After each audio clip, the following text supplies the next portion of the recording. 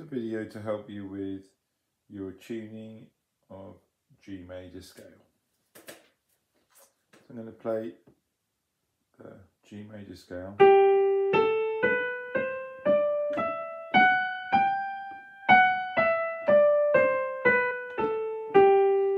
So I'm playing the octave, not from the open G,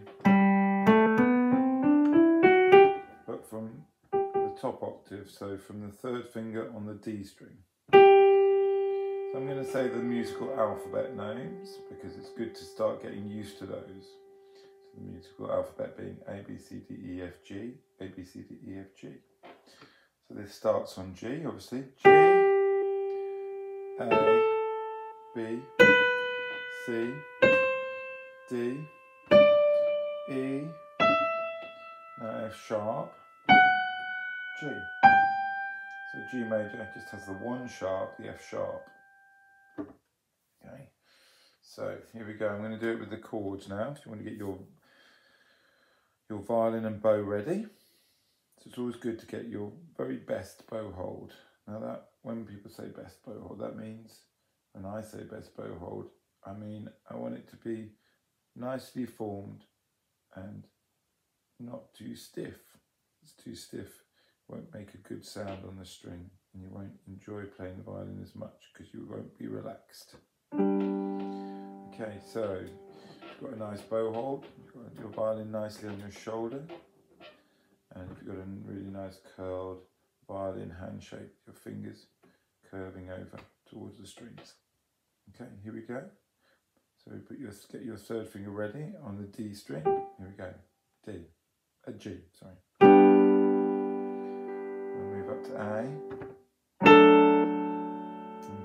And B with your second low second finger. T with your third finger. To E. And then F sharp with your first finger. And then tucking in your second finger for the G.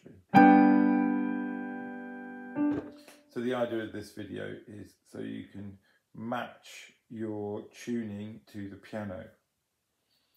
So if you get your fingers slightly in the wrong place, don't worry.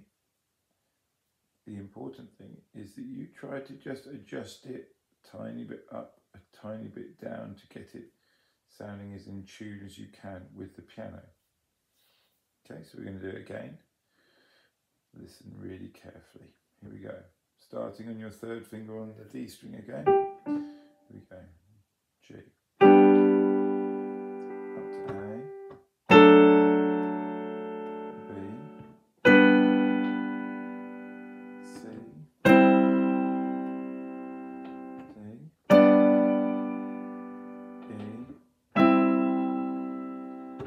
sharp, G. Keep that second finger there, we're going to come down now. Play it again, two. Back down to the F sharp. And now the E. Back down to the third finger, Back to the C. Now the B.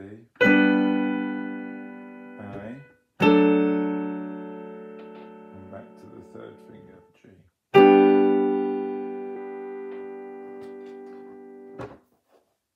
So, hopefully you felt good about the placement of your fingers.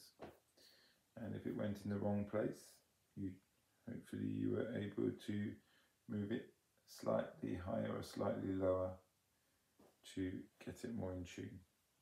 So you can use this video um, and it will really help you play more in tune and that will then help your pieces sound better. Música